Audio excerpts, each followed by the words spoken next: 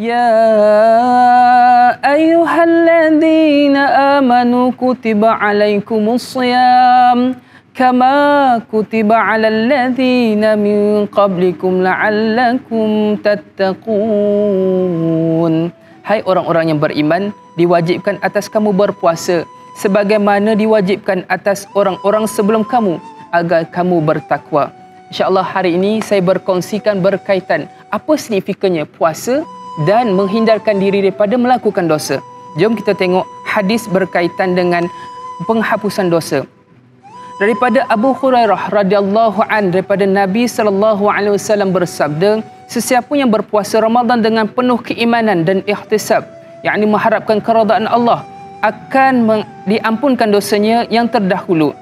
Jadi, puasa ini adalah satu madrasah atau tarbiyah, bukannya mendatangkan masalah. Puasa adalah pintu segala ibadah.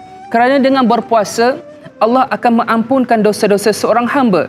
Apabila dosa-dosanya diampunkan, maka ia akan menjadikan hati kita ini bercahaya dan cahaya itu akan menimbulkan rasa hati yang penuh gairah untuk melaksanakan amal ibadah dengan bersungguh-sungguh. Jadi jom sahabat-sahabat, kita laksanakan ibadah dengan penuh semangat, iktikad dan bersungguh-sungguh meninggalkan segala apa yang dilarang dan melaksanakan apa yang diperintahkan Allah. Assalamualaikum warahmatullahi taala wabarakatuh.